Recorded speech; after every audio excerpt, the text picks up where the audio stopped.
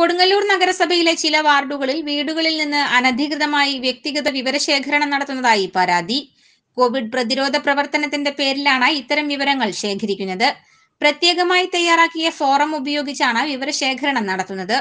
പേര് വിലാസം ആധാർ നമ്പർ രക്തഗ്രൂപ്പ് ഫോൺ നമ്പർ ഇമെയിൽ വിലാസം പെൻഷൻ വളർത്തുമൃഗങ്ങൾ തുടങ്ങിയ വിവരങ്ങളും ഒറ്റയ്ക്ക് താമസിക്കുന്നവരാണോ തുടങ്ങിയ വിവിധ വ്യക്തിഗത വിശദാംശങ്ങളുമാണ് ചോദ്യാവലിയിൽ ചേർത്തിട്ടുള്ളത്. അനവസരത്തിലും അനധികൃതവുമായ വിവരശേഖരണത്തിന് പിറകിൽ മറ്റ് അജണ്ടകളുണ്ടെന്ന സംശയവും ഉയർന്നിട്ടുണ്ട്. നാട്ടുകാരിൽ ചിലർ പരാതി ഉന്നയിച്ചതിനെ തുടർന്ന് വിവരശേഖരണത്തിൽ നഗരസഭയ്ക്ക് പങ്കില്ലെന്ന് അധികൃതർ വ്യക്തമാക്കി.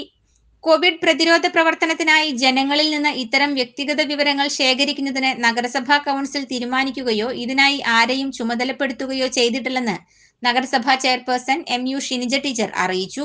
കൊടുങ്ങല്ലൂർ നഗരസഭയിൽ ചില വാർഡുകളിൽ നിന്ന് വ്യക്തിപരമായ വിവരങ്ങൾ ശേഖരിക്കുന്നു എന്ന് പറഞ്ഞ് ഫോൺ മുഖേനയും അല്ലാതെ നേരിട്ട് നമുക്ക് ഒരുപാട് പരാതികൾ വന്നതിനെ തുടർന്ന് നമ്മൾ ഇന്നലെ മാധ്യമങ്ങൾക്കും പത്രങ്ങൾക്കും ഒരു പ്രസ്താവന നൽകുകയുണ്ടായി.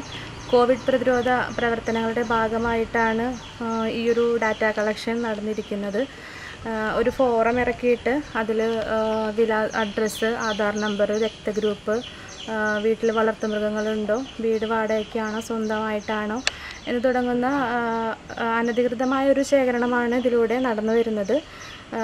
അപ്പോൾ അത് നമുക്ക് നേരിട്ട് പരാതി വന്നതുകൊണ്ടാണ് നമ്മളത് പത്രത്തിനെ അറിയിച്ചത്. കാരണം ഒരുപാട് ആളുകൾ വിളിക്കുകയും സംശയം ചോദിക്കുകയും നഗരസഭയുടെ അറിവോടെയാണോ നടക്കുന്നത് എന്നുള്ള ഒരു- സംശയത്തിന്റെ പേരിൽ ആളുകൾ വിളിക്കുന്നത് കൊണ്ടാണ് നമ്മളൊരു അറിയിപ്പായിട്ട് കൊടുത്തത്. നഗരസഭയുടെ ഭാഗത്തുനിന്ന് ഔദ്യോഗികമായിട്ട് ആരെയും നമ്മളതിനെ ചുമതലപ്പെടുത്തിയിട്ടില്ല.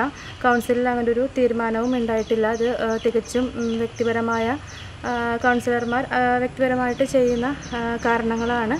ഇത് എല്ലാവരുടെ അറിവിലേക്കായിട്ട് പറയുകയാണ് നഗരസഭയുടെ കൗൺസിൽ തീരുമാനത്തിലോ നമ്മൾ ഔദ്യോഗികമായിട്ടോ ആരെയും ഈ ചുമതല ഏൽപ്പിച്ചിട്ടില്ല.